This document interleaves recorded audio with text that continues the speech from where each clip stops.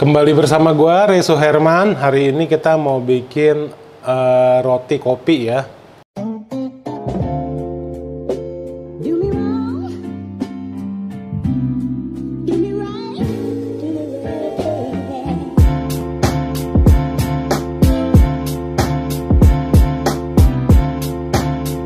Roti kopi yang stylenya itu mirip brand sorry yang nyebut brand ya mirip kopi O gitu-gitu loh ya. Ya, ah, ah, roti Oh, roti gitu kan ya. Oke lah ya. Daripada kita ngejayus terus, kita mulai bikin aja yuk. Oke. Nah langsung aja nih pertama kita masuk, eh, sorry nih kita sebutin bahannya dulu nih. Ini jadi bahannya kita bagi dua nih ya. Bahan untuk roti manisnya, sama bahan untuk topping toppingnya, topping krim kopinya ya. Nah beda nih ya, walaupun bahannya mirip-mirip tapi beda.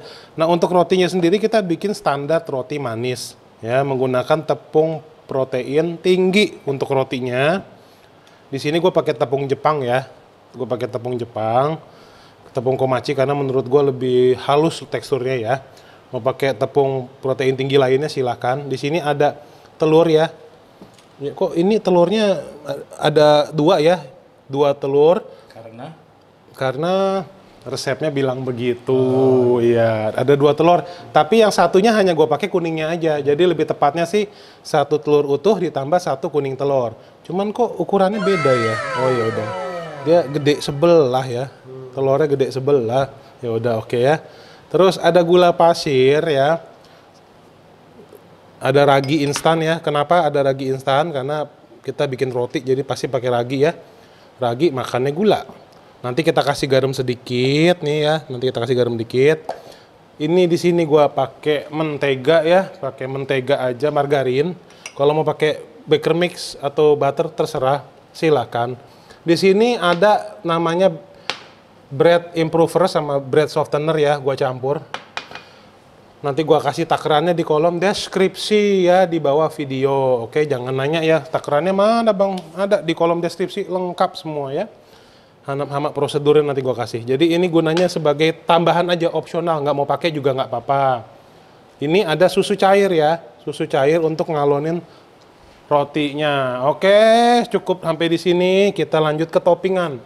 Bahan toppingannya di sini ada kopi ya, kopi instan gua seduh nih sama air ya. Jadi kayak espresso kelihatannya ya.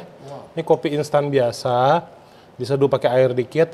Ini ada tepung gula ya, tepung gula atau powder sugar. Di sini ada tepung terigu, protein sedang. Beda ya.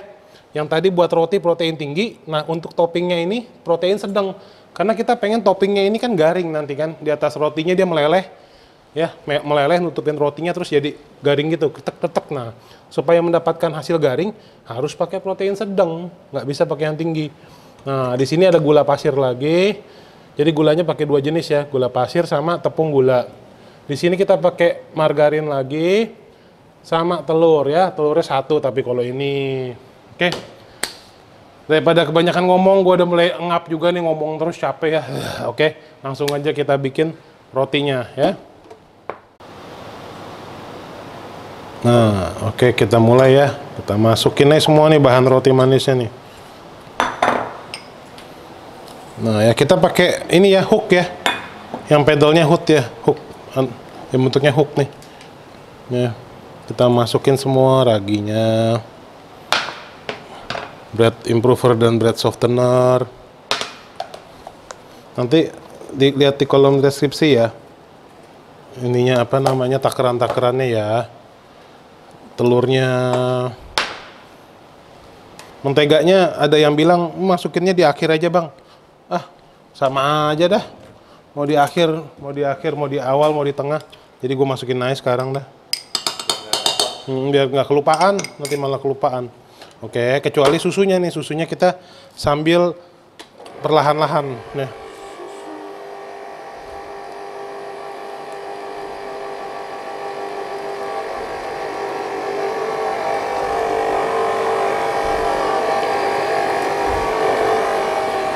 selama 15 menit ya biar dia lebih kalis oke nanti kita balik lagi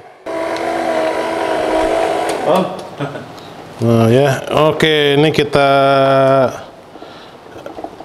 udah 15 menit nih ya, kita keluarin dulu adonan tuh lihat ya. Jadi adonannya nggak jangan nggak terlalu kering ya, nggak terlalu kering tapi nggak boleh terlalu basah ya. Jadi dia pas-pas aja gitu nih ya. Oke. Waduh nih ya. Nah. Oke. Nah, ini. Nah, ini nanti kita akan ulenin lagi nih dikit lagi ya. Kita akan ulenin dikit lagi. Nah, ya. Gue pakai tepung biasa aja nih ya. Kalau untuk ngulenin gue pakai ekstra tepung protein tinggi cakra aja ya. Gue nggak pakai tepung Jepang sayang kalau cuma buat ngulenin doang. Nah, ya. Kita ambil. Karena ini gue nggak bikinnya bikinnya dikit, gue pakai tangan ya. Kalau bikinnya banyak pakai scraper ya, pakai scraper. Cuman kan gue bikinnya dikit ini. Ya, kita kasih tepung dikit. Nah, ini kan udah 15 menit. Bentar aja nih ya. 3-4 menit aja pakai tangan. Kalau pakai tangan tuh biar gimana pun lebih kencang gitu ya tekanannya ya. Kalau ini ada pakai mesin nggak? Nggak ada, nggak ada. Kalau nggak murni mesin. Kalau lu pakai mesin roti yang gede tuh yang tingginya sebadan manusia tuh, nah ini sih nggak usah diulenin lagi kalau gitu, karena dia putarannya kenceng banget kan.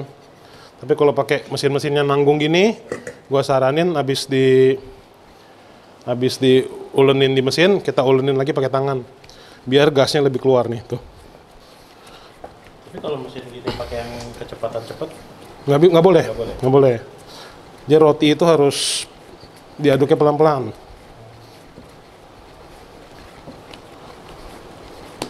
Nah ya, oke. Nah mantep ya. Kita kita gini-giniin dulu ya, kita shaping dulu. Biar dia bulat. Nah cakep ya. Nah ini akan kita diemin dulu ya. Selama kurang lebih 45 menit. 45 menit sampai 1 jam. Tergantung suhu udara nih ya. Kalau udara lagi panas mungkin dia bisa 45 menit. Kalau udara agak dingin mungkin satu jaman ya kita taruh di baskom yang udah diminyakin bang kalau ini namanya proofing ya? Nunggu kita ngembang. Kalau mau cepet gimana? Kalau mau cepet bisa 20 menit ngembang. Pakai mesin proofer proofer box. Kita kan di rumah nggak punya proofer box kan? Tunggu aja ya kita tunggu aja. Nanti akan kita tutupin pakai kain ya pakai kain yang dibasahin. Selama kurang kurang lebih 45 menit sampai satu jam ya kita tinggal aja. Oke. Nah setelah satu jam dung dung dung dung dung dung. wah. Dia meninggi membesar ya. Tuh ya membel. Uh cakep nih. Nah kita biasa ya sebelum kita ulenin kita kempesin kita akan taburin dulu ya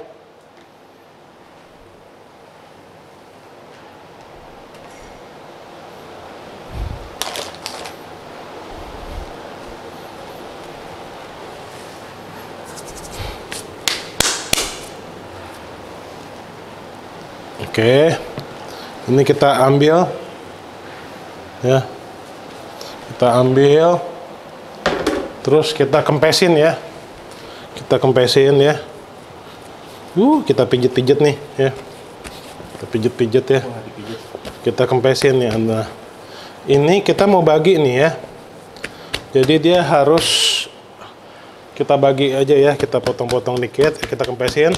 Nah, ini kita harus bikin kurang lebih bisa jadi 10 biji nih. Kita ambil timbangan, kita ambil pisau ya. Ambil pisau. Nah, ini kurang lebih 90 gram nih satunya nih ya.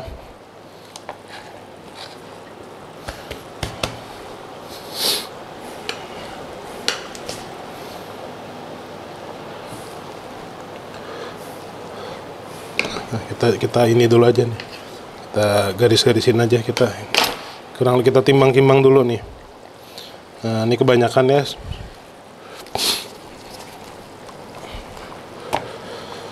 Nah, 91 nggak apa-apa ya. Jadi udah dapat begini. Ini kita bentuk-bentuk bulat dulu aja. Nanti akan kita isi ya. Nanti akan kita isi sama mentega. Nah, oke nih ya. Lagi ya, kita timbangin kegedean. Nah, sebelah kita bikin 90 aja nih. Nah, 88 oke lah, boleh lah ya.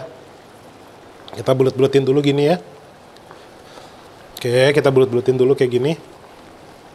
Oke, ya. Kalau mau pakai dua tangan boleh langsung bulat-bulatin dua ya. Ini kita taruh dulu gini ya. Oke. Ini nanti akan gua kelarin dulu ya. Gua akan bikin bulat-bulat dulu. Langsung aja ya nanti ya. Nah, lihat kan setelah di gini ya, gini. Tuh. Sorry ya, ini ternyata tadi bukan 90 gram, Leb- j- lebih tepatnya 95 ya. Kurang lebih 95-an. Nah, ini udah begini, kita akan isi dengan margarin. Ini margarin dengan rasa cookie and butter ya. Nih gua kasih unjuk aja deh, sorry kita lihat brand ya. Ada beberapa brand, cuman yang gue pakai ini cake and cookie. Kenapa? Karena dia wanginya wangi butter, tapi dia bukan butter. Kenapa gua tidak pakai butter untuk bikin roti kopi O ini? Karena kalau kita taruh butter di dalamnya dengan suhu Jakarta yang cukup panas seperti sekarang, kemungkinan besar waktu di proofing dia sudah meleleh. Jadi bleber ke mana-mana gitu, ya. Siap. Nah ya, ini ini udaranya luar biasa panas ya hari ini ya. Ini kita masukin ya butternya ya. Kita kunci ya tuh kita kunci ya. Ini bukan butter, sorry margarinnya ya. Kita masukin, kita bulut-bulutin lagi nih tuh. Ya. Cakep kan? Oke. Yang udah kita taruh sini ya biar nggak kesaru ya. Ini udah satu. Lagi lagi lagi ya, kita tunjukin lagi. Ya, kita bulutin dulu ya. Gini. Kita masukin nih ya bat margarinnya. Ini berat margarinnya nih kurang lebih sekitar 20 gram ya. Ya, sekitar 20 gram, 21, 20, 20-an gram ya. Oke. Kita masukin ya. Kita lipat ya, kita lipat yang rapi. Oke, kita lipat yang rapi, kita bentuk lagi dia bulat ya. Dia harus bulat-bulat. Oke, kita kita usahakan dia supaya bulat lagi ya, walaupun margarinnya memang dalamnya kotak ya.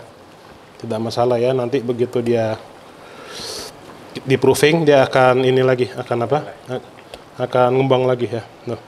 oke. Ini gua akan lanjutin dulu isi semuanya ya. Nanti kita lanjut lagi kalau kita udah taruh di baking tray. Yuk. Nah ya udah jadi semua nih. Tuh cakep kan ya? Kita udah bikin bulat-bulat udah kita udah isiin pakai margarinnya ya. Ini kita taruh di baking tray ya yang udah diolesin sama baking paper ya atau parchment paper. Ini kita proofing lagi, proofing itu ngembangin ya. Kita proofing lagi untuk kedua kalinya kurang lebih 45 menit sampai satu jam lagi. Nah ya nanti setelah proofing udah ngembang lagi, kita akan piping si toppingan kopinya ya. Kita piping toppingan kopinya, baru kita oven gitu. Masih ada 45 menit lagi, jadi nanti gua tunggu dulu. Nanti kalau kop- eh, rotinya udah mulai mekar, kita akan bikin toppingan kopinya, sip ya. Selagi nunggu nih ya, kita lagi nunggu kan rotinya di ini apa namanya rotinya dikembangin ya di proofing. Kita bikin dulu nih ininya toppingannya ya. Kita masukin aja semuanya nih, simple banget. Kita masukin menteg eh, margarinnya ya, margarinnya, ya. gula pasirnya, semuanya jadi satu aja, campur aja jadi satu ya.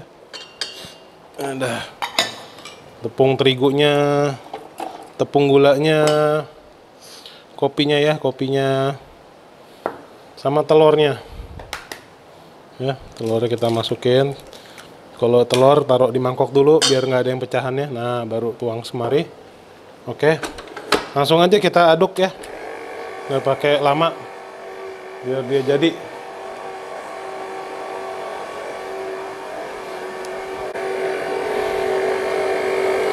Nah, kelupaan ya, masukin garam dikit ya. Kenapa? Ini kan udah gulanya banyak ya. Kita kasih garam dikit supaya dia ngimbangin rasa manisnya ya. Oke, kita kocok lagi, kecepatan tinggi ya.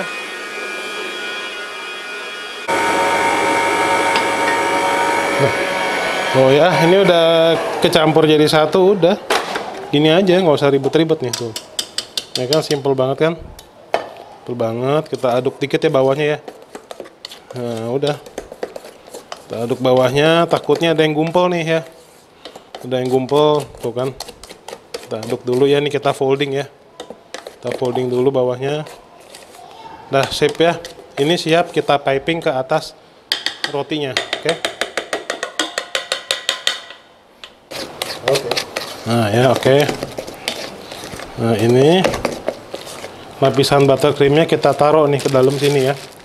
Kan gua nggak punya piping bag nih. Jadi kita pakai aja plastik kiloan bisa aja sama aja ya. Oh ya. Sama aja pakai plastik kiloan masukin ya. Masukin. Ya. Nih ya. Nah, kita masukin gini ya. Nggak usah semua setengah dulu ya. Nah, ya kan gini nih. Oh, ya. Kita giniin dulu ya. Kita giniin ya. Tuh, kita ikat dulu kencengin nih. Kita kencengin ya. Maklum lah ya, kita kan jarang baking nih. Jadi kita nggak pernah nyimpen piping bag. Tapi kalau punya piping bag, boleh pakai piping bag ya. Biar lebih rapih. Oke Kadang nggak punya backingan. nggak punya kita nggak punya backingan kita nah ini kita wes wes aduh siapa itu yang ngomong jujur sekali? Oke ya kita dapat begini kan? Nah ini kita piping ya gini ya. Kita piping ke atasnya nih ya. Nah, gini ya. Ini. Oke. Gini aja ya, nanti dia akan lumer turun sendiri ke bawah ya. Kalau bang warnanya kurang gelap, hmm, ya kopinya boleh ditambah kalau suka yang lebih strong ya. Nah kita giniin aja ya. Nanti dia akan turun sendiri panas ya. Gini ya. Hmm. Hmm. Oke. Ya. Lagi di sini. Mm-mm.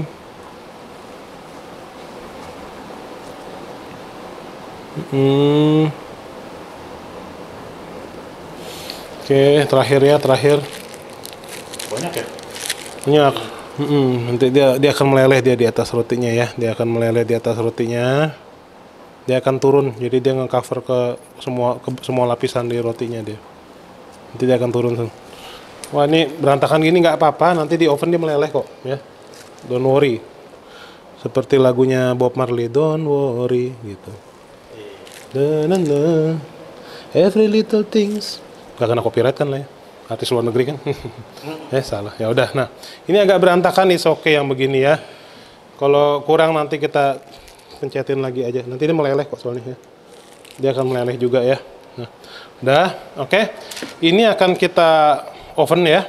Langsung kita oven pada suhu 170 ya sampai 180. Ya. Ini udah preheat ya, udah dipanasin. Oke, suhu 170 sampai 180 ya. Tergantung ovennya. Nah, ya. Kita, kita say bye-bye dulu, kita oven ya, kurang lebih 15 sampai 20 menit. Oke? Ini ini ternyata lebih dari 15 menit ya, hampir 20 menitan nih tuh. ya. Wah. Ya. Waduh, ini sedep banget nih ya. Nggak apa-apa, ini agak-agak nempel nanti kita copotin dia jadinya bulat-bulat. Ini ini kelebihannya nih dari toppingnya meleleh kan dia bleber dikit. Ya, nggak masalah. Nanti kita tunggu adem, kita tunjukin ya kayak gimana rotinya. Oke? Sip. Jadi kita rotinya udah kita tunggu ya berapa menit nih tuh. Ini jadinya bagus tahu dari mana? Wah, garing. Lagi lagi lagi. Tes kriuk, tes kriuk. Tes kriuk, tes kriuk tuh ya. Nih lagi lagi lagi yang ini, yang ini, yang ini. Sama ya, semuanya garing, oke? Nih. Wah, garing ya. Dijamin bagus ini ya. Ini tadi agak nempel aja sama roti sebelahnya. Maklum lah kita punya baking pan itu kurang gede ya. Baking pan kita kurang gede. Ini nih tolong di center ini ini siapa ini? Kenapa ini ada di sini nih? Orang lagi bikin roti dia lagi makan. bantuin gua Dia ngebantuin beresin dia, beresin makanan sampai habis gitu. Ya, ini kita potong ya. Kita potong. Moment of truth, moment of truth di manakah menteganya? Wah, ya tuh. Iya, cakep ya. Oke, ini kita pajang aja di sini. Wah nih menteganya meleleh nih kuning-kuningnya asik banget nih. Kita taruh di sini. Kita taruh di sini ya. Oke. Oh ya. Roti apa namanya? Coffee bun ya. Coffee bun ala Bang Ray ya. Dijamin enak ya, atasnya garing, buatnya gampang. Tapi yang bikin nggak garing. Yang bikin sangat garing sih orangnya sih sebenarnya. Orangnya garing, Orangnya garing sih sebenarnya. Candaannya apalagi, uh garing banget. crispy. Crispy kita mah. Thank you for watching Bang Ray Cooking Show. Jangan lupa like, comment, serta subscribe terus ke channel gue. Semoga resep yang hari ini gue share bisa bermanfaat buat lu semua. Kalau gue aja bisa masak, lu juga pasti bisa. See you.